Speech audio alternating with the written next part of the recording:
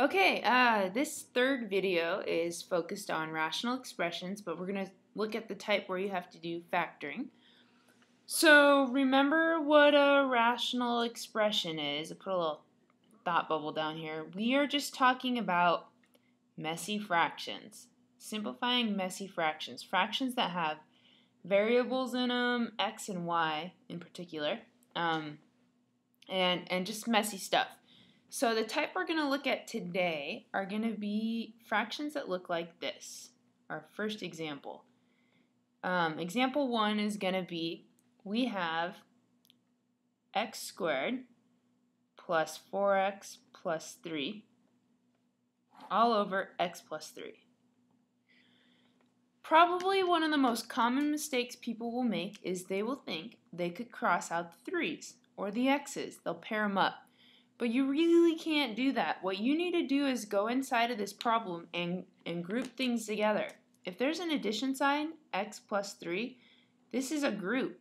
x plus 3 should be together. And, and x squared plus 4x plus 3 is another group. These do not match up.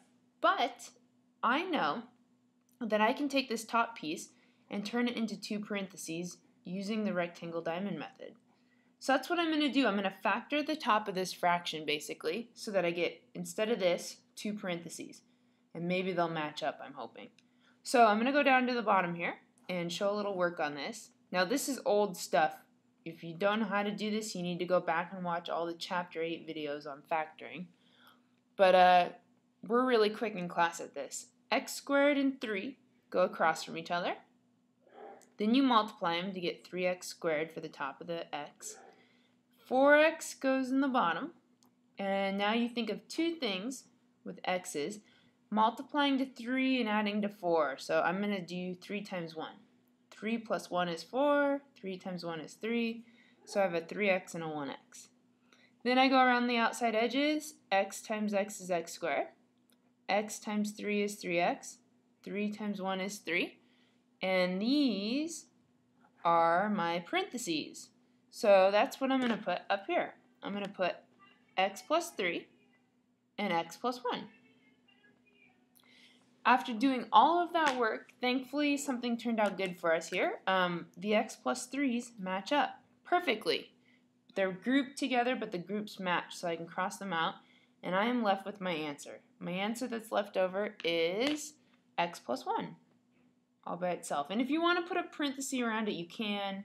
Um, if you don't want to, you can leave it like this. It doesn't really matter. That x plus 1 is my answer. Either way, parenthesis or no parenthesis. So this is kind of a special case. Um, factoring is really when you run into this problem where you have adding or subtracting and you need to do the rectangle diamond method. So let's look at some examples. Let's do another one, maybe a little harder. Example 2. How about um, we have a multiplication problem? So two fractions being multiplied as our setup. And for our multiplication problem, we're going to have x squared plus 6x plus 8 over 10x times um, 5 over x plus 4. That's going to be my setup. So we know that when you're multiplying fractions, you go straight across. But we also know adding and subtracting needs to be grouped together. So we have x plus 4 is grouped together, and x squared plus 6x plus 8 is grouped together. And if I was to multiply this thing uh, straight across, it just turned into one big fraction with x squared plus 6x plus 8 times 5 over 10x times x plus 4. So not a lot I can simplify at the moment, but I know this thing on top, this thing can be rectangle diamond. I can factor it. So I'm going to do a little bit of factoring. I'm going to go over here and make another rectangle diamond. And I'm going to factor this piece on the top. My plan is to do this. I'm going to find the answer and rewrite this as two parentheses. Remember it was x squared plus 6x plus 8 times 5. So I'm still going to have a times 5, but I'm going to change it into double parentheses. On the bottom, the only thing I can think of is change the 10 to to 2 times 5x. 2 times 5 is 10.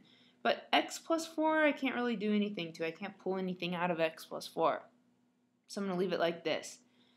So let's go solve this rectangle diamond stuff. Um, let's see, x squared and 8 are going to go in the corners.